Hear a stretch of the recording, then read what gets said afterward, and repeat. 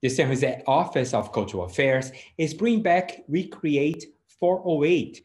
The idea of this project is to inspire everyone's creativity. As part of Arts, Culture, and Creativity Month in April, the San Jose Office of Cultural Affairs announced We Create 408, a virtual festival that will inspire creativity and celebrate San Jose's rich and diverse arts and culture environment. We want to encourage the creativity in all of our daily lives. So, as you know, you know, creativity is just infuses everything we do. It just lives inside us, right? The festival comes at a time when people need to feel that sense of connection and community with others. During this difficult time that we've all been experiencing, we want to bring to the residents of San Jose a really wonderful virtual festival called We Create 408. Our prompt is on April 18th.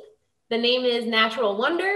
And the idea is to be inspired by nature to create something that humans can use. So, for that prompt, we encourage people to check out one of our at home activities called Biomimicry Mashup and uh, you know create something of their own inspired by nature. Each of the arts organizations partnering on this project will have a day during the month of april where they will send out a prompt to inspire creativity and participants can share their responses on social media. During the month of april where we'll share a prompt where we'll invite our community to participate in an arts activity so on our day we're going to be asking our community to get outside, do a dance by yourself, do a dance with your friends, and videotape it, then post it on your own social media with the We Create 408 hashtag.